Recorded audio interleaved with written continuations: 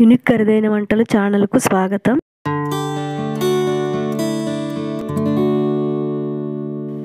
ఈరోజు నేను చేయబోయే రెసిపీ మామిడికాయతో ఇసుక దొందులు ఇగురు వీటిని పులుసు తీసి శుభ్రం చేసుకోవాలి.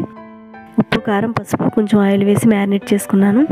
ఉల్లిపాయలు చింతపండు మామిడికాయ కారం ఉప్పు మసాలా పసుపు పచ్చిమిర్చి. ముందుగా స్టవ్ వెలిగించుకొని బండి పెట్టుకొని రెండు స్పూన్ల ఆయిల్ వేసుకోవాలి. కొంచెం పసుపు ఒక స్పూన్ సాల్ట్ వేసుకుని రెండు పెద్ద సైజు ఉల్లిపాయలు సన్నగా కట్ చేసి పెట్టుకుని వేయించుకోవాలి. సన్న మంట మీద వేగనివ్వాలండి. మనకి ఉల్లిపాయలు బ్రౌన్ కలర్ రావాలి. మూత పెట్టిన ఒక ఐదు నిమిషాలు మగ్గనిద్దాం. ఐదు నిమిషాలు అయింది. చూసారా? కొంచెం మగ్గింది.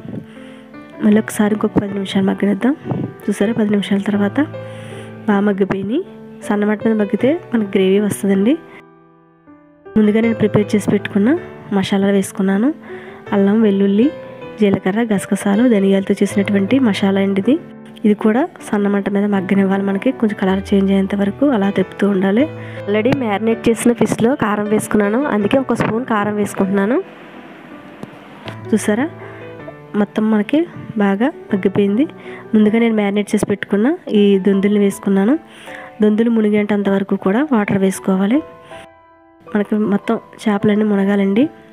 అలా వాటర్ వేసుకోవాలన్నమాట ఒకసారి మొత్తం అంతా తిప్పాను. నేను సన్నగా చీల్చానమాట ఒక ఏడు పచ్చిమిర్చి తీసుకున్నాను. మూత పెట్టుకుని ఒక పది నిమిషాలు ఉడి ఉడకనిస్తాను. పది నిమిషాలు ఏం చూద్దామండి? మూత తీసాను నేను ముందుగా చిన్న సైజు నిమ్మకాయ అంతా చింతపండు నానబెట్టుకున్నాను. ఆ పులుపు అండ్ ఒక హాఫ్ చెక్క మామిడికాయ అనమాట చిన్న ముక్కల కింద కోసుకుని వేసుకున్నాను.